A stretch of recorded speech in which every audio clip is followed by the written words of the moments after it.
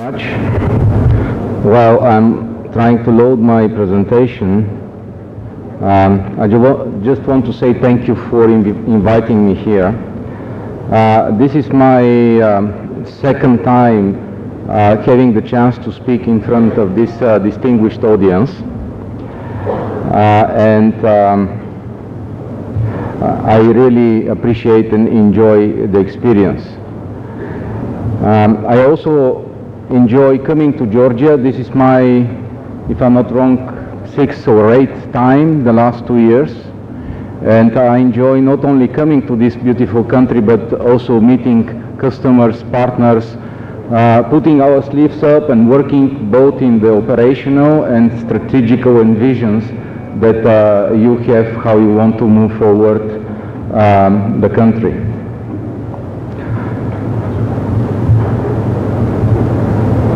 Okay. So my team told me to look for number nine, right?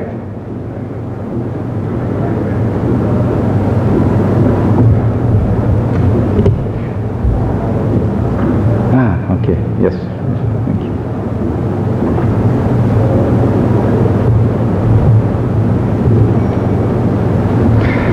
Okay, uh, so we are ready to go. Last year, uh, one of the topics that um, I presented and we discussed afterwards was about how you make a country competitive. And that was based on the Global Competitiveness Index. This is the report that the World Economic Forum is uh, um, reporting or issuing every year. So uh, there is a progress with Georgia during last report 2014-2015 Georgia as a country was on, uh, ranked as uh, 69 uh, within the new report Georgia is ranked uh, 66 so there are three three steps going up. Congratulations for this. But as people say we also have to look at the details.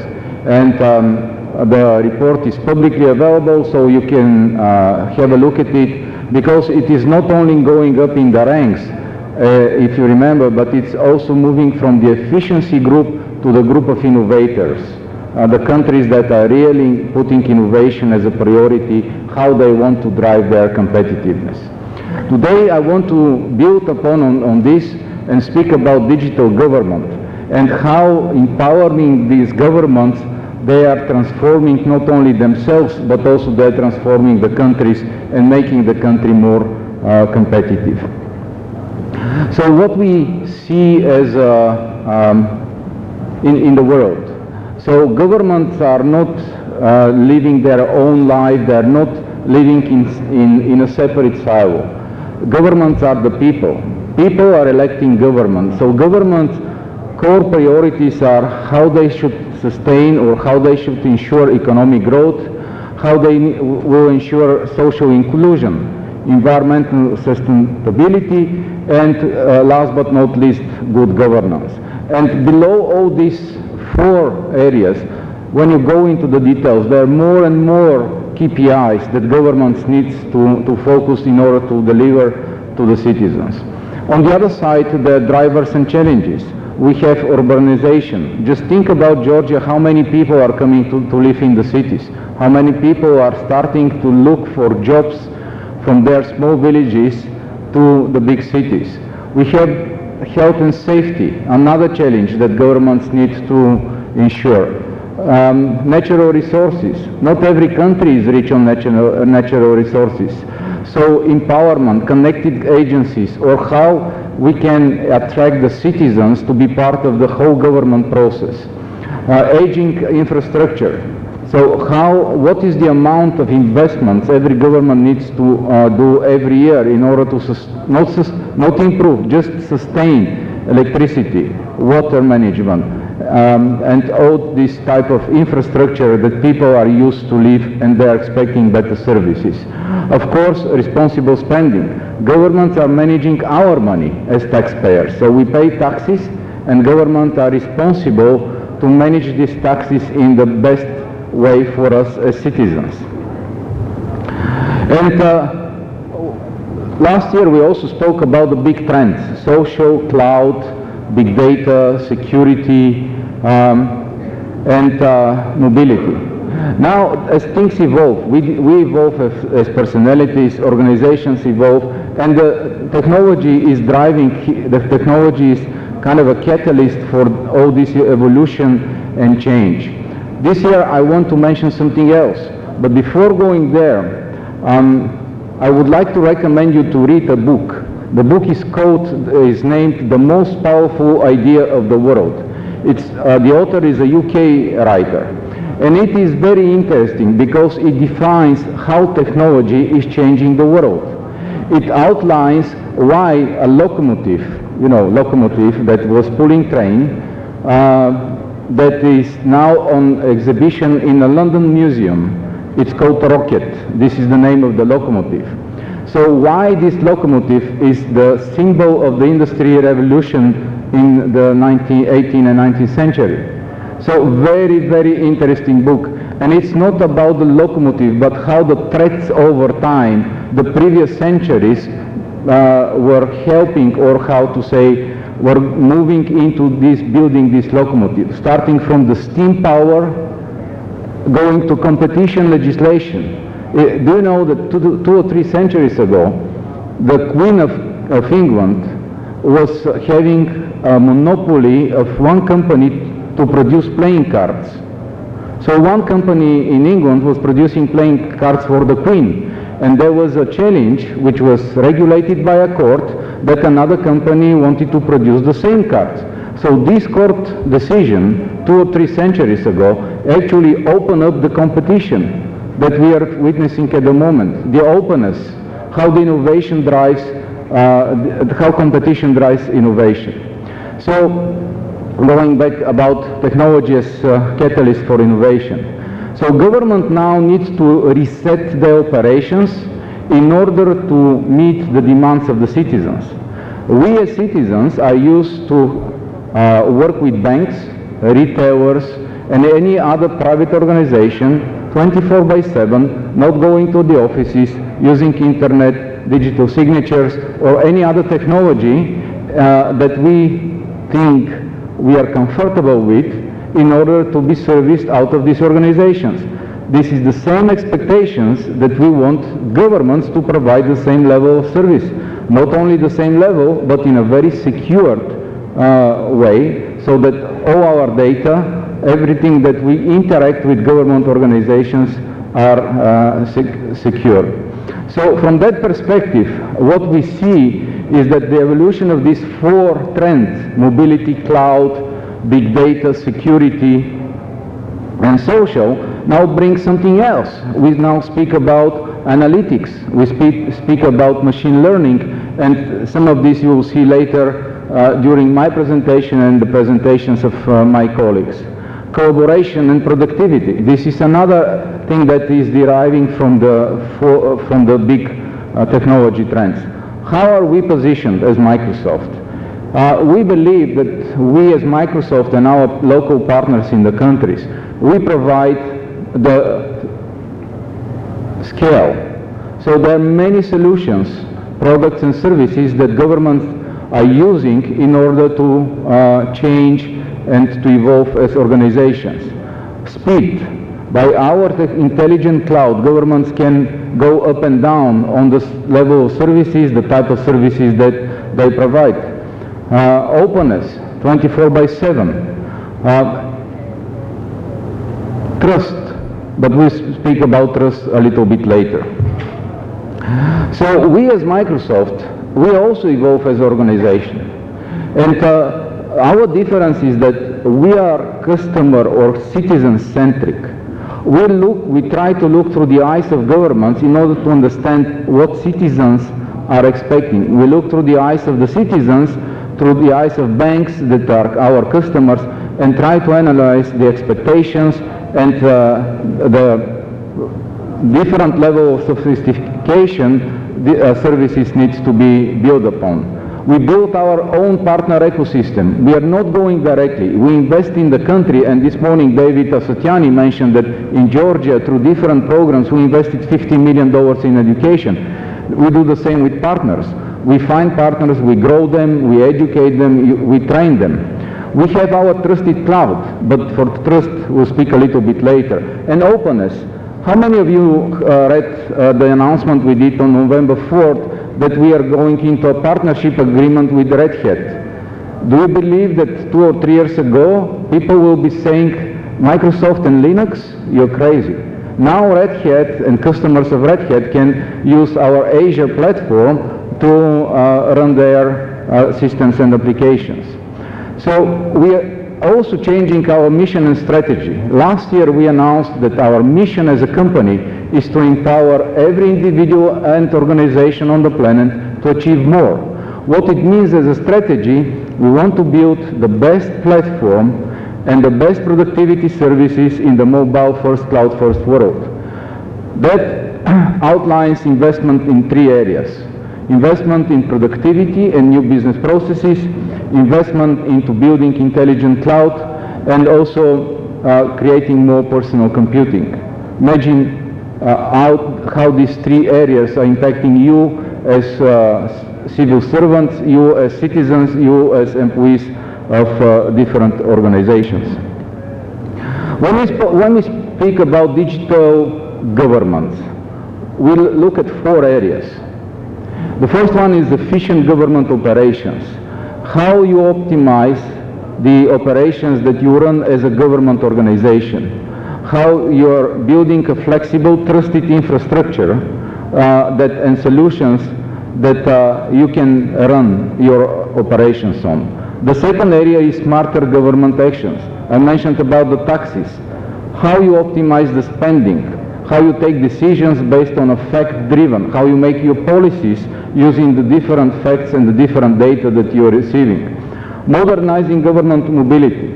Think about a tax inspector or a police on, the road. So these people need to be connected to their organizations. They need to be able to work and perform and be productive the way the same way as if they're sitting in a, in a physical office uh, somewhere in a similar nice building. And last but not least is connecting, connecting agencies. Not only connecting agencies by, among themselves, but also including citizens, how citizens can be part of this connectivity. And, and further on, I will, I will focus only on two out of these areas, the uh, connecting agencies and also the smarter government actions. But before moving to, uh, to this, I want to mention something about trust. You don't use a technology or a service if you don't trust it, right? So nobody can force you to do something if you are not uh, uh physically persuaded, mentally persuaded that this is a trusted environment that you can operate. So Microsoft is putting a lot, a lot of efforts, investments into building a trustworthy computing for our customers and our partners. Oh, sorry. There should have been a picture of our CEO. I'm sorry about that. Something happened with the deck. Anyway, two days ago, Satya Nadella delivered a keynote speech in front of the Cloud Government Forum in Washington. And he made several announcements. The first one is that we are changing the approach how we treat security. It's about protect, detect, and respond. The second thing is that he announced that we are investing $1 billion per year in making our products and services secure. Um, our technology, the solutions that partners are building using our technology. So $1 billion per year. The other announcement was that we are opening a cyber defense operational center. This is a high, a state-of-the-art, highly sophisticated facility that will run 24 by 7, will have access and will connect thousands of engineers, security experts all around the, world in order to make data analysis, in order to make threat analysis, to be able to uh, build a rapid response to anything that is coming out in the cyber, cyber world. And the other announcement is that we are building a Microsoft Enterprise Cybersecurity Group that will work with customers to analyze, to uh, guide, and also to build cybersecurity strategies for our uh, enterprise customers. One thing I also want to mention is uh, around the security is that we are hardware agnostic. I'm using Android phone, so I'm allowed to use Android phone, but my authentication runs on the cloud. So it doesn't matter if the device is Android, iOS, or Windows phone. Uh, on the tablet, I'm using Windows 10, and I have biometrical authentication, so nobody can see my uh, uh, password typing it. It's my iris of the eyes. So these are just examples what we do in order to protect our customers and our partners from a endpoint protection. We do the same on the server side, but this, uh, this is an area that we'll be happy to discuss with you on some other um, occasions. So moving to the four areas connecting agencies and citizens. Um, as we saw in some of the previous uh, uh, presentation, citizens' data reside in different organizations. Unless we, we connect them to start talking together, citizens will be exposed to going from one organization to another, switching from one website to another website, or doing, trying to do a service or to get a service not only when they want, but from 9 to 5. And this is extremely important, and we are trying to build all the necessary solutions and services to make, to facilitate this collaboration uh, between among agencies and uh, citizens. Think about your kids. My son is 18 years old. He's using his devices, and I'm honest with, with you, he has a Windows tablet, an, a MacBook Pro, and uh, iPhone. So he's using these devices, Office 365 as a platform for collaboration and uh, communication in their schools.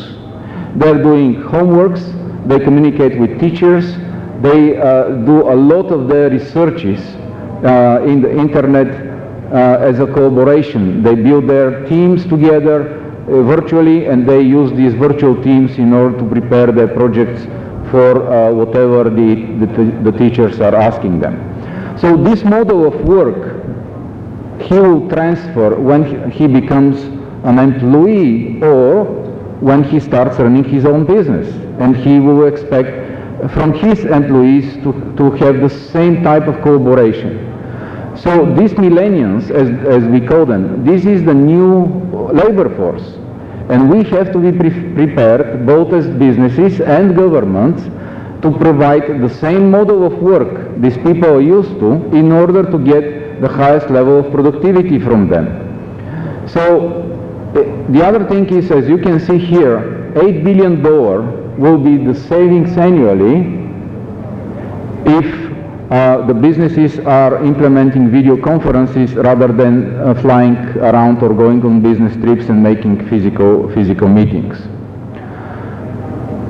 Again, what are the, the challenges that I mentioned? So we have citizens and civil servants working anywhere, anytime. They need to have the better tools, they need to have access to the information and the data they need at the moment, not tomorrow, not in one hour, not next week, now.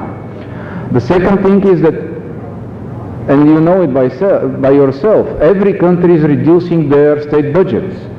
So they need to optimize. So how they optimize it? They spend in electricity, they spend in productivity, they spend in collaboration. So the technology that we are providing both with our partner ecosystem is helping them to overcome these challenges. Better coordina coordination and connection among agencies and departments.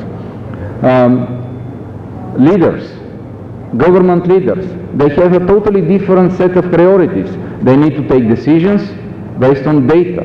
They need to make policies based on data. So they need to have access to this data. They have to collaborate among themselves as political and government leaders in order to provide the appropriate and the correct policies and legislations. And last but not least, protecting individual data. So how you are securing the personal data, how you are securing the transactions. So all these challenges are in the minds of the both Microsoft and our partners and our customers. Let's go and look the profiles. We have government leader, we have employee, uh, government employee and field work. All these, tribe, these high-level uh, roles require different level of collaboration, different, different level of productivity, and different level, level of data access. So we have a, a leader that is, his work or her work is so important uh, because whatever they do now, whatever decisions they take will have an impact in the next three to five, even ten years. Government employees, these are the people that we are in interacting every day as citizens. If they are not productive, if they are not able to cooperate among themselves, everything will be on us as citizens. We will not receive the appropriate service, we will fail, our dissatisfaction will be very, very high. Of course, when voting comes, elections comes, we would like to change the leaders. And last but not least, field, field workers, uh, utilities, or police cars, or customs officers. So customs, are, it is not only the physical border now, but customs are, uh, operations are going across uh, each and every country. It's not only border, but it go in the country, outside the country, depending on uh, the different uh, roles. So are, this is another view of how we want and how we are working with government to, to have an end-to-end -end productivity from their side. So business intelligence, enterprise social. So how we are using these trends that we, uh, we spoke last year in order to make a government transform and reset their operations and become really digital. Field mobility, control and compliance, not only internally, but also with international standards. And of course, how we reduce cost by uh, using technology. One example, State of European Union conference. 400 attendees joined over Skype for Business. Imagine from six countries, how much money will be spent if these 400 people will be traveling to one location? What will be the carbon dioxide emission by these people traveling? Or what will be the, the cost per diems, hotels, etc., etc. So this is just one simple example how technology can uh, really bring uh, transformation into government operations. The second area I, I, I promised you about is about smart government actions or how they use the data in order to take the right decisions and to build the right policies. What are the challenges? It makes no sense me to tell you. So you yourself know the amount of data you generate. So some people are taking photos, this uh, date, uh, data.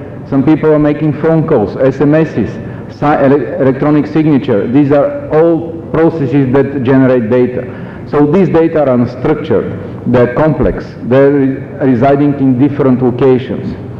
Um, security, privacy, and regulatory requirements, another challenge for data management. Um, as I said, they reside in different platforms, and also constant changes in policies and uh, citizens' requests. No matter of this, governments need to provide the economic growth, social inclusion, environmental sustainability and good governance. These are the priorities of the governments.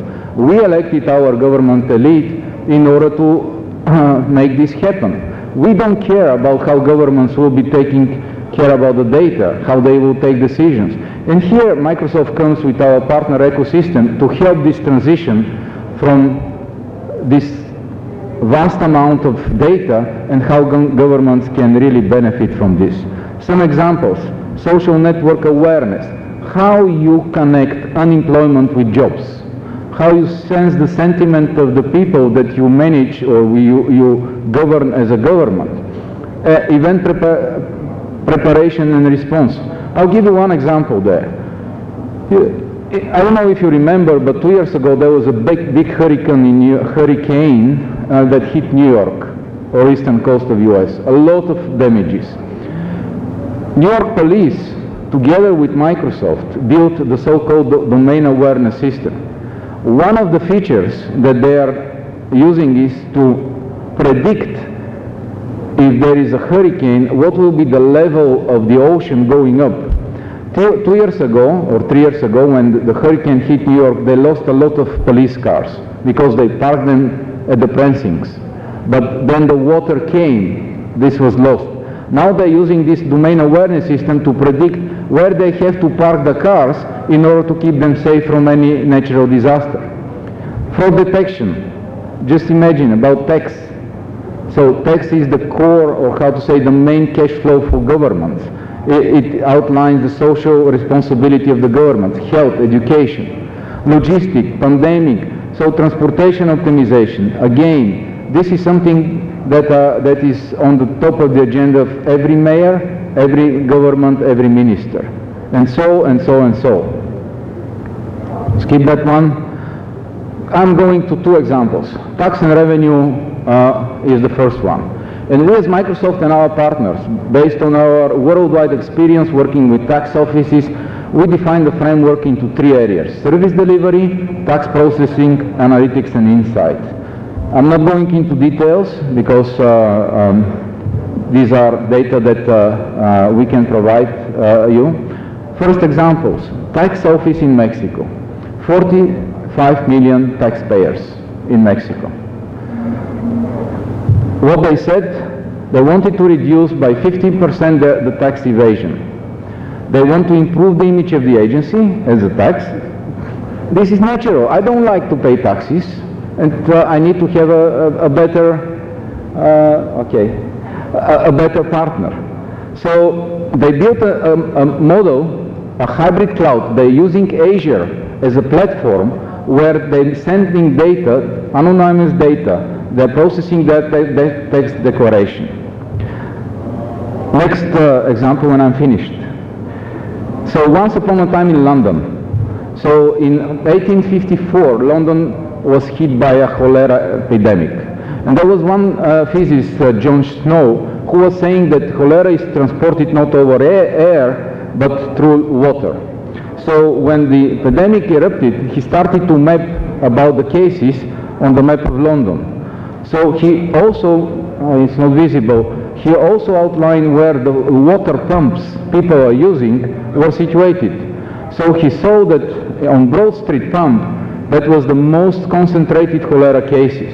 However, there were two noisy data. One was the brewery, which was part in the core of the cholera epidemic, and the other one was the area, the other area of London.